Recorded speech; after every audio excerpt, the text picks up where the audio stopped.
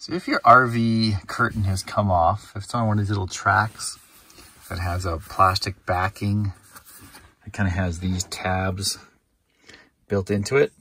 Uh, eventually they get brittle or someone pulls on it, gets snagged and it tears off.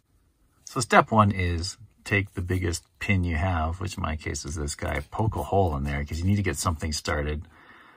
Uh, this fabric is very thick, especially up here. It's really well uh, double or tripled over. So poke a hole in there and then uh, get your wires started.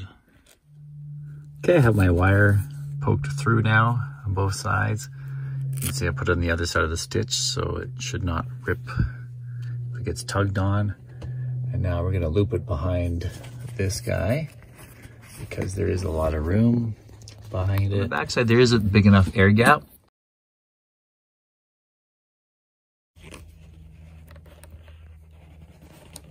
like so.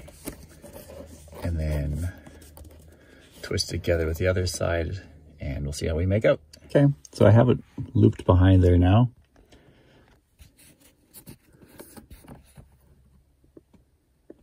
And now it's just a matter of twisting those together and uh, cutting it off with um, some wire cutters. And we'll see how the end result looks. Okay, I'd say that came out pretty good. Probably better than the bobby pin method. So here's a normal one, right, with your plastic.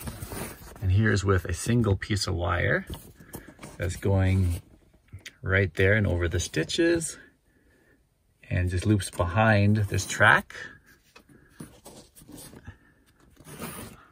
Back out. Goes nice and smooth. Doesn't get cut up and don't think you can tell the difference.